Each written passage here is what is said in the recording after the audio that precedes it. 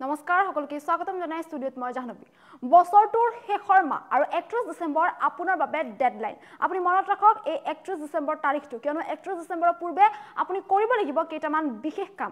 যদিহে আপুনি সেই কামকেইটা কৰা নাই তেন্তে শীঘ্ৰেই কৰক কিয়নো সেই কামকেইটা নকৰিলে আপুনি সমস্যাত পৰিব পাৰে। কি কি কাম আপুনি কৰিব লাগিব? লৈ আহিছোঁ সবিশেষ। একত্ৰিছ ডিচেম্বৰৰ পূৰ্বে কৰক পাঁচটাকৈ জৰুৰী কাম। এই পাঁচটা কাম আপুনি কৰিব লাগিব একত্ৰিছ ডিচেম্বৰৰ পূৰ্বে। এতিয়াও আপোনাৰ হাতত আছে চৈধ্যটাকৈ দিন। চৈধ্যটাকৈ দিন আপোনাৰ হাতত বাকী আছে যদি আপুনি কৰা নাই তেন্তে আপুনি শীঘ্ৰেই কৰক এই পাঁচটাকৈ কাম একত্ৰিছ ডিচেম্বৰত শেষ হৈ পৰিব এই পাঁচটা কামৰ সময়সীমা। গতিকে একত্ৰিছ ডিচেম্বৰ আপোনাৰ বাবে deadline S B I Amrit কলহত নিৱেশ কৰাৰ বাবে অন্তিম সময় একত্ৰিছ ডিচেম্বৰ। ডিমেট একাউণ্টত নমিনী সংযুক্ত কৰাৰ বাবে অন্তিম সময় একত্ৰিছ ডিচেম্বৰ। বেংক লকাৰ এগ্ৰিমেণ্টৰ বাবে শেষ সময়সীমা হৈছে একত্ৰিছ December. Income tax return file কৰাৰ সময় এতিয়া ধৰি দিয়া হৈছে একত্ৰিছ ডিচেম্বৰ। আৰু একত্ৰিছ ডিচেম্বৰৰ পৰা লগে লগে এবছৰে সক্ৰিয় হৈ নথকা U P I I D বন্ধ হৈ পৰিব। আৰু যিহেতু একত্ৰিছ ডিচেম্বৰ ডেডলাইন ধৰি দিয়া হৈছে গতিকে একত্ৰিছ ডিচেম্বৰৰ পূৰ্বে আপুনি এই বিশেষ কামকেইটা কৰিব লাগিব। যদিহে আপুনি এই বিশেষ কামকেইটা নকৰে তেন্তে আপোনাৰ বাবে বিপদ হ'ব পাৰে।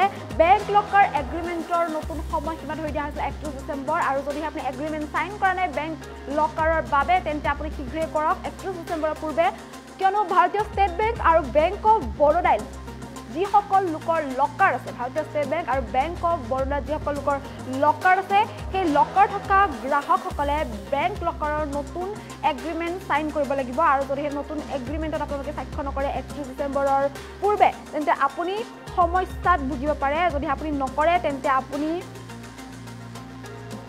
সমস্যাত ভুগিব পাৰে। সেয়েহে আপোনাৰ বাবে জৰুৰী যিসকলৰ যিসকল লোকৰ ভাৰতীয় ষ্টেট বেংক আৰু বেংক অফ বৰোদাত যিসকল লোকৰ বেংক লকাৰ আছে তেওঁলোকে একত্ৰিছ ডিচেম্বৰৰ পূৰ্বে এই নতুন এগ্ৰিমেণ্ট চাইন কৰাটো বা এই নতুন এগ্ৰিমেণ্টত স্বাক্ষৰ কৰাটো তেওঁলোকৰ বাবে জৰুৰী। আনহাতে ডিমেট একাউণ্টত নমিনী সংযুক্ত কৰাৰ বাবেও অন্তিম সময়সীমা নিৰ্ধাৰণ কৰি দিয়া হৈছে একত্ৰিছ ডিচেম্বৰ। যদি আপুনি নমিনী আপুনি সংযুক্ত কৰা নাই নমিনী সংযুক্ত কৰা নাই তেন্তে আপুনি শীঘ্ৰেই নমিনী সংযুক্ত কৰিব লাগিব। ডিমেট একাউণ্টত।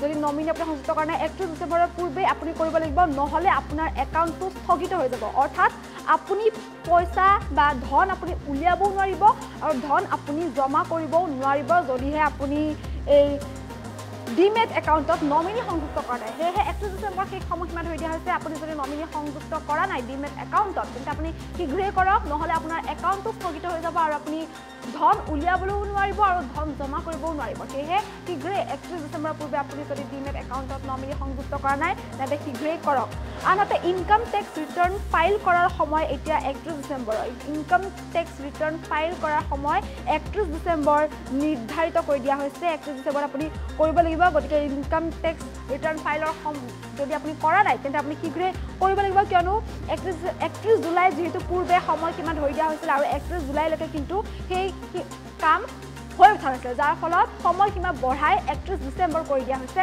আৰু এতিয়া একত্ৰিছ ডিচেম্বৰত আপুনি ইনকাম টেক্সৰ এই ৰিটাৰ্ণ ফাইল কৰিব লাগিব। যদি আপুনি কৰা নাই একত্ৰিছ ডিচেম্বৰৰ পূৰ্বে আপুনি শীঘ্ৰেই কৰক এইকেইটা কাম।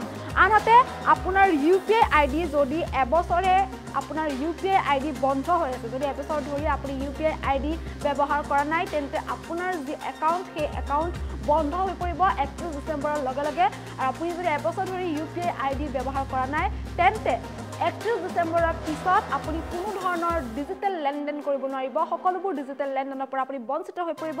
গুগল পে' ফোনপে'ত আপুনি কোনো ধৰণৰ লেনদেন কৰিব নোৱাৰিব। যদিহে আপোনাৰ U P I I D এবছৰ ধৰি ব্যৱহাৰ হৈ অহা নাই। আনহাতে এছ বি আই অমৃত কলহত নিৱেশ কৰাৰ সময়সীমাও ধৰি দিয়া হৈছে একত্ৰিছ ডিচেম্বৰ একত্ৰিছ ডিচেম্বৰ পাৰ হৈ গ'লে আপুনি এছ বি আই অমৃত কলহত নিৱেশ কৰিব নোৱাৰিব। সেয়েহে এই বিশেষ পাঁচটা কাম যি পাঁচটা কাম আপুনি একত্ৰিছ ডিচেম্বৰৰ পূৰ্বে কৰি কৰিব লাগিব কিয়নো একত্ৰিছ ডিচেম্বৰ আপোনাৰ বাবে ডেডলাইন ধৰি দিয়া হৈছে আৰু এই চৈধ্য দিন এতিয়াও আপোনাৰ হাতত বাকী আছে। যদিহে আপুনি কৰা নাই এইকেইটা কাম তেন্তে শীঘ্ৰেই আপুনি এইকেইটা কাম কৰক। আপুনি যদি বেংক লকাৰ এগ্ৰিমেণ্টত স্বাক্ষৰ কৰা নাই এতিয়ালৈ তেন্তে আপুনি শীঘ্ৰেই কৰক। যিসকলৰ বেংক অফ বৰোদা আৰু যিসকলৰ ভাৰতীয় ষ্টেট বেংকত যিসকলৰ লকাৰ আছে তেওঁলোকে নতুন এগ্ৰিমেণ্টত এগ্ৰিমেণ্টত স্বাক্ষৰ কৰিব লাগিব। বেংক লকাৰ থকাসকলে নতুন এগ্ৰিমেণ্টত স্বাক্ষৰ কৰিব লাগিব। একত্ৰিছ ডিচেম্বৰৰ পূৰ্বে। আৰু যদিহে আপুনি একত্ৰিছ ডিচেম্বৰৰ পূৰ্বে স্বাক্ষৰ নকৰে তেন্তে আপোনাৰ বাবে বিপদ হ'ব পাৰে আপুনি সমস্যাৰ সন্মুখীন হ'ব পাৰে। আনহাতে যিসকলৰ ডিমেট একাউণ্ট আছে একাউণ্ট থকাসকলে নমিনী সংযুক্ত কৰিব লাগিব। যদিহে তেওঁলোকৰ নমিনী নাই ডিমেট একাউণ্টত তেন্তে একত্ৰিছ ডিচেম্বৰৰ পূৰ্বে তেওঁলোকে ডিমেট একাউণ্টত নমিনী সংযুক্ত কৰাটো বাঞ্ছনীয় যদিহে তেওঁলোকে নমিনী সংযুক্ত নকৰে তেন্তে তেওঁলোকৰ যিটো একাউণ্ট সেই একাউণ্ট স্থগিত হৈ পৰিব আৰু কোনো ধৰণৰ ধন তেওঁলোকে উলিয়াবলৈও সক্ষম নহ'ব আৰু কোনো ধৰণৰ ধন তেওঁলোকে জমা কৰিবলৈও সক্ষম নহ'ব। সেয়েহে একত্ৰিছ ডিচেম্বৰৰ পূৰ্বে শীঘ্ৰেই কৰক আপোনাৰ ডিমেট একাউণ্টত নমিনী সংযুক্ত যদি আপুনি কৰা নাই। আনহাতে ইনকাম টেক্স ৰিটাৰ্ণ ফাইল কৰাৰ সময়ো যিহেতু একত্ৰিছ ডিচেম্বৰ নিৰ্ধাৰণ কৰি দিয়া হৈছে পূৰ্বে একত্ৰিছ জুলাই কৰি দিয়া হৈছিল আৰু একত্ৰিছ জুলাইলৈ যিহেতু এই কাম সম্পন্ন হৈ উঠা নাছিল তাৰপিছতে সময়সীমা বৃদ্ধি কৰি দিয়া হৈছে আৰু সময়সীমা বৃদ্ধি কৰি একত্ৰিছ ডিচেম্বৰৰ একত্ৰিছ ডিচেম্বৰলৈ কৰি দিয়া হৈছে। যদি আপুনি ইনকাম টেক্স ৰিটাৰ্ণ ফাইল কৰা নাই তেন্তে আপুনি কৰক শীঘ্ৰেই কিয়নো আপোনাৰ হাতত এতিয়াও চৈধ্য দিন বাকী আছে এই চৈধ্য দিনৰ ভিতৰত আপুনি কৰিব পাৰে এই কাম।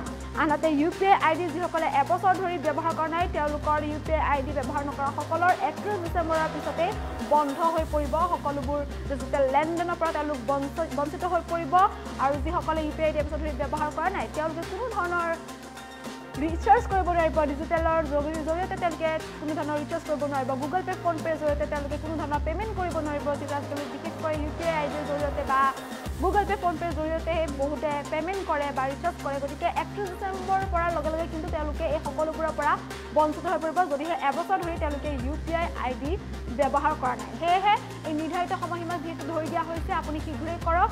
আৰু একত্ৰিছ ডিচেম্বৰৰ পূৰ্বে এই পাঁচটাকৈ জৰুৰী কাম আপুনি কৰক যিহেতু আপোনাৰ হাতত এতিয়াও চৈধ্য দিন সময় আছে। গতিকে চৈধ্য দিনৰ ভিতৰত আপুনি এই কামকেইটা কৰক। আৰু সমস্যাৰ সন্মুখীন হোৱাৰ পৰা ৰক্ষা